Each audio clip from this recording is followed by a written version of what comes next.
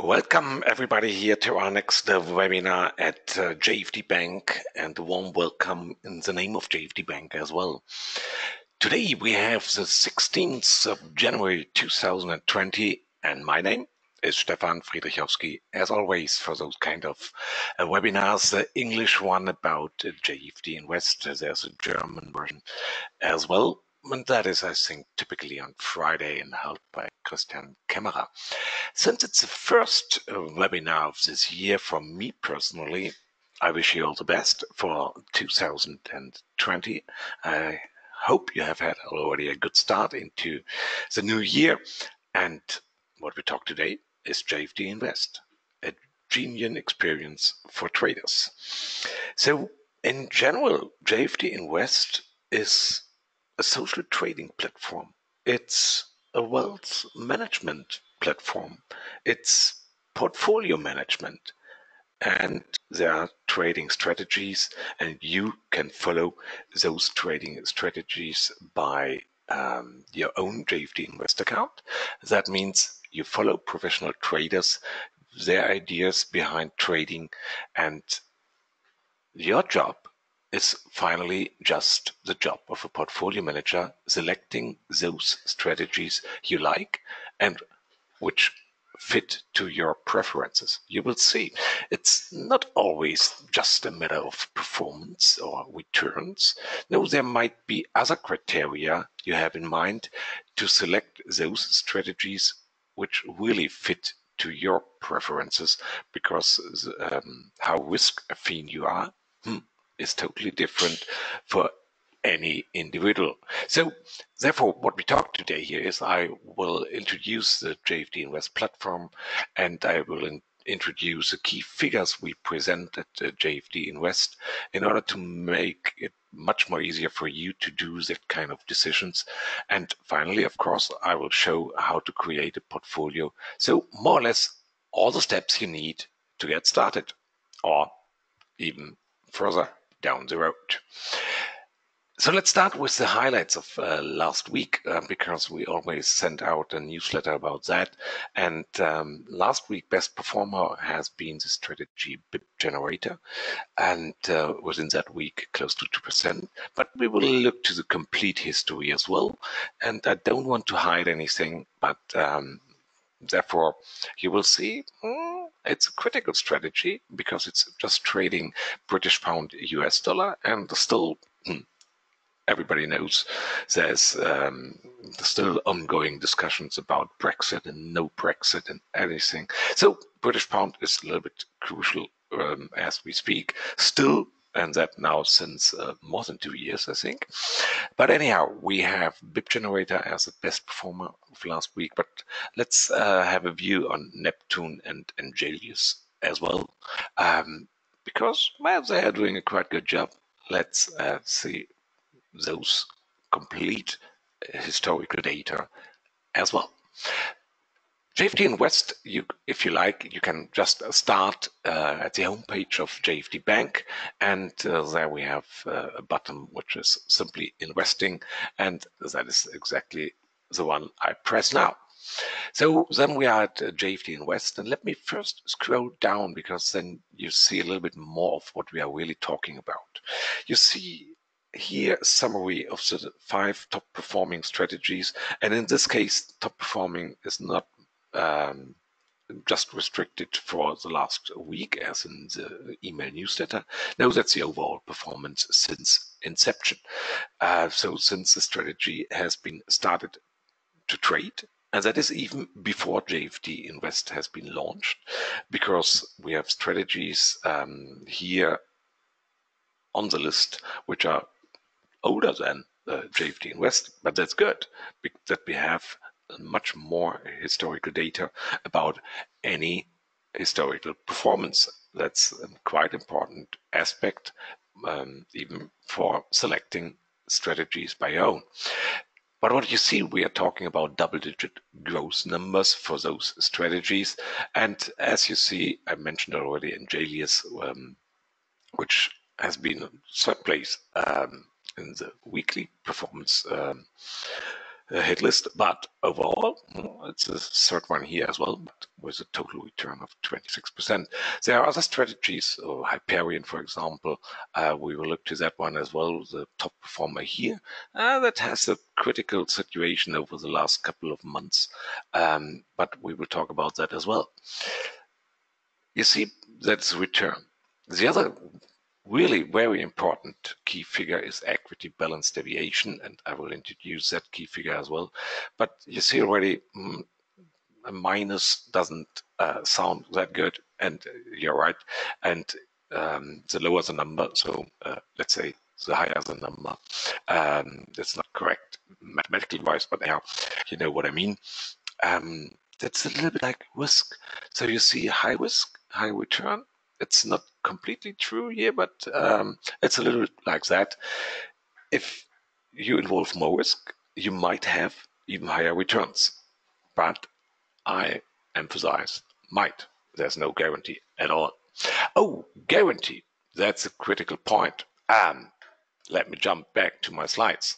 I forgot to mention the risk disclaimer at the beginning, but anyhow, it should be mentioned at least once during a webinar, and I will do it now. Um, we talk about investments, we talk about investing, trading strategies, trading at all. But finally, whatever you do, of course, you do it on your own and your own responsibility. I think that's quite self-explaining. That uh, has to be mentioned in any webinar. Okay, done deal. Back to the performance. You see last month, year to date. Okay, year to date is not that meaningful um, with the 16th of January. But you see what I mentioned already. Hyperion has some problems. Uh, yeah, and we see that uh, in the year to date result. Um, so let's have a view on that as well. But now how can you be part of JFD Invest? Okay, quite simple.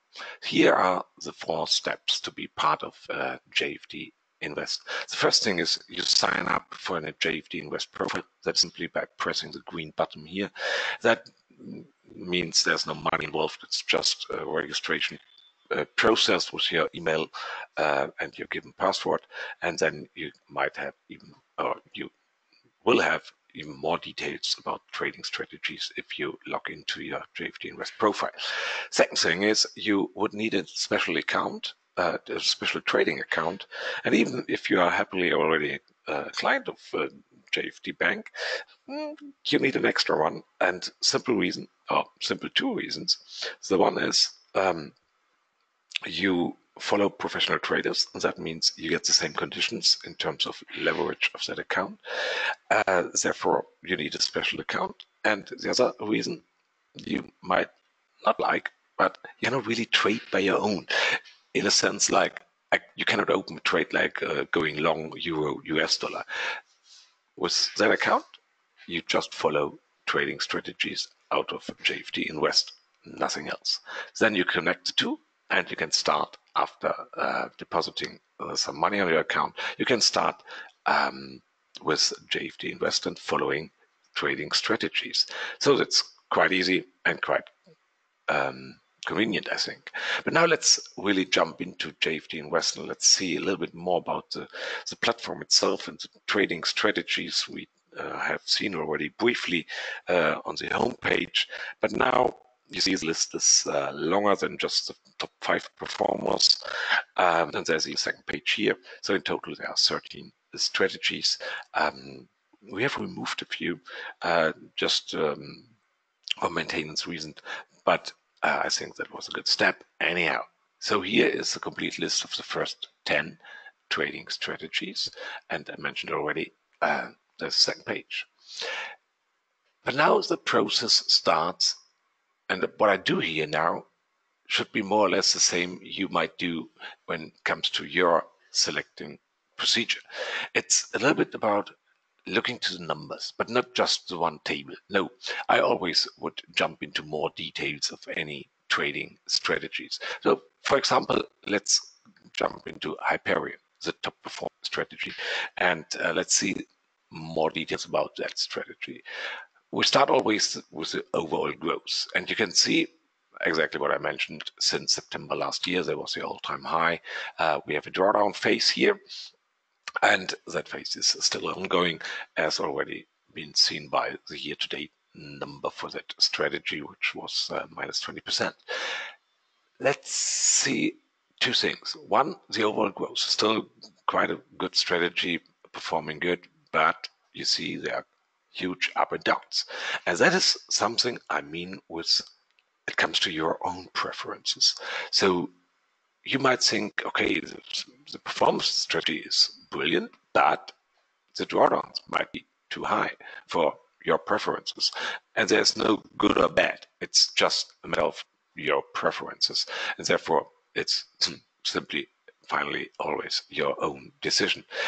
And we help you already in order to see that. You see the graph, okay. You see the monthly return table, okay. And there you can see numbers, for example, like um, minus 20%, or in the historical data we have uh, November last year already minus 20. Okay, that belongs to trading as well. So you may think, too risky? Okay, let's skip the strategy. But that's, of course, your decision. But nevertheless, let me brief you a little bit more about other key figures. But there's one uh, which is really quite important, which is so-called equity balance deviation. And equity balance deviation is simply a measure of so-called floating losses. Okay, hmm, maybe a bad explanation uh, because what are floating losses? Okay, it's simply um, your open trades. If you have open trades, those trades might be positive or might be negative, but floating losses, not realized. But it's important to know that number as well, because if that number is maximum for for Hyperion 60%, that would mean if you follow with 10k, there have been a point in time with 6k floating losses. Maybe too high for you? Okay, I understood. But that's important um, meaning of that number, that you know exactly about uh, equity balance deviation. And you see you can have that or even versus time. And you see that Hyperion is a strategy with lots of open trades almost any time, and those trades might be in the minus as we speak. You can see more details about any strategy uh, if you scroll down here.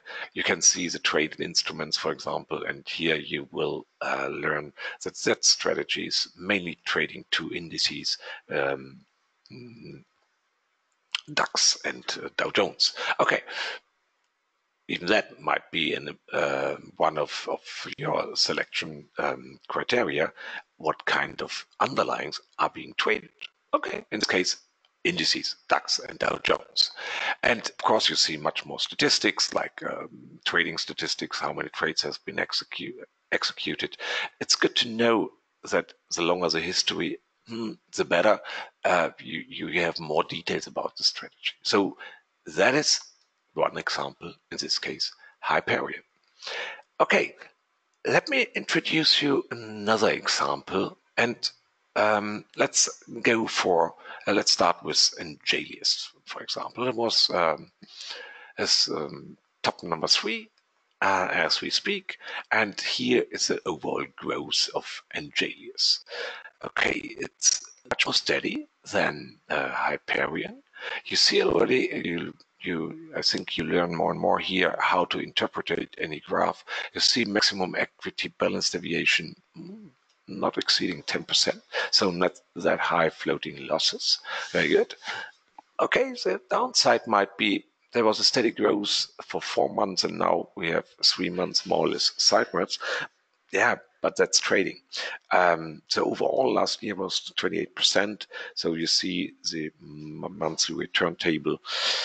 Okay, I know. Ideally, that would be totally green, and we have almost examples for that.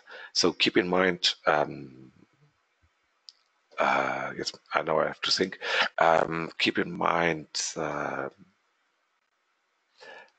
butterfly and forex gun those strategies have almost green monthly return tables. So, but now let's dive into that strategy a little bit deeper as well. So here you can see lots of traded instruments, um, about 10 different instruments uh, or Forex um, pairs, in this case, more or less equally distributed, uh, at least um, not completely equally, but anyhow, uh, there's no high preference uh, for any specific symbol.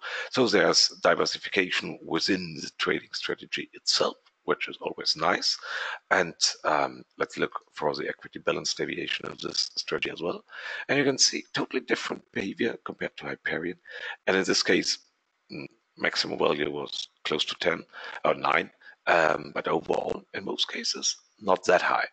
As we speak, yes, we have uh, floating losses. Um, as we speak, 3.66%. So, nevertheless, a good example for a strategy which is doing a quite good job. Um, different instruments, and now, since I mentioned already uh, butterfly, um, yeah, let's look to that and let's see how green the monthly return table actually is indeed. And you see, okay, there's one negative month. Um, that was November last year. But overall, all the other months uh, have been positive. So that is really looking quite nice. Um, looks like the trader of that strategy um, has been on vacation here. Uh, so therefore we have a flat line here. But now it's trading once again. So first up um, positive trades are already within um, the basket here. So that's very nice. Traded instruments, um, or let's always start with equity balance deviation first. And here uh, you see, okay, there was uh, mm, it was last year May, uh, close to 10, but overall mm, looks good. Um, I like it. Uh, at least I like it personally, but you may think different about any strategy. So overall, one year was with about 20%. Not that bad result. So um, that might be something um, for you as well, hopefully. Traded instruments, always a good choice to have a view on that. And here we can see, okay, there are seven different instruments, more or less the main, uh, the major pairs, uh, so to say, are not completely, but um, I would not call uh, New Zealand dollar, US dollar a major, but anyhow, close to all uh, major pairs here. And there has been one trade on US dollar, Swiss franc, but overall, most of the trades have been executed Euro US dollar, British pound US dollar, and US dollar Japanese yen. Okay. Um, what's typical for those? Okay, we call them major. The other um, typical behavior of those uh, underlyings is they have really tight spreads, which is good when it comes to uh, a higher frequency of trading. And as you can see, number of trades uh, exceeding already 2,500 trades. So there's real statistics behind, which is always good to have uh, that as well. Finally, of course, I show the uh, top performer of last week, which is on the second page, uh, as you can see, and that is a BIP generator. And simply, I don't want to hide that graph here as well. Completely different story about that strategy, isn't it? Um, so overall growth, mm, no, uh, close to zero. But the strategy is, I would call it in a waiting situation. When it comes down with British pound US dollar, because that is the instrument that strategy has been trading, and uh, and it's uh, just British pound US dollar. Let's see what happens with that strategy if we have a calm down phase of British pound. Um, I think there's a good chance that we go north again. So that's the way how you do your own selection procedure. Look to the key figures, look for equity balance deviation, look for traded instruments, drawdowns, and then I hope you can find a good way for your own decisions. But now it's up to what really happens if you create your own portfolio. Let's have a view on that as well. So now I'm logging in, as you can see. Um, as you do with your own profile. And if you have a JFD Invest account behind, then you can allocate money to a given strategy. On a first view, it looks the same. You see, still this BIP generator is open. But now, how can I follow that strategy? Okay, let's do this step. Uh, not finally, but at least that you see how easy it is. It's just pressing the button follow.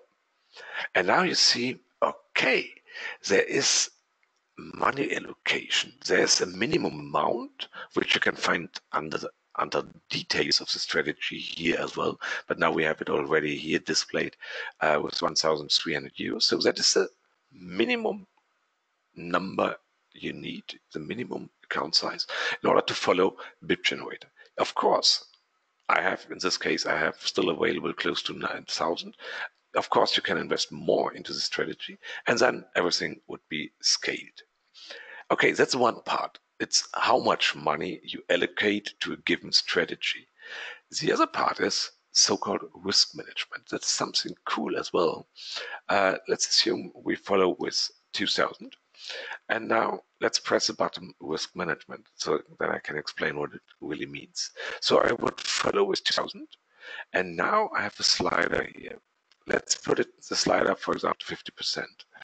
And that means whenever you would lose percent of your current uh, allocated money, which is 2000, which would mean 1000, strategy, if, if, if, there would be a loss of 1000, then it's like a stop loss on normal trading, but on strategy level now.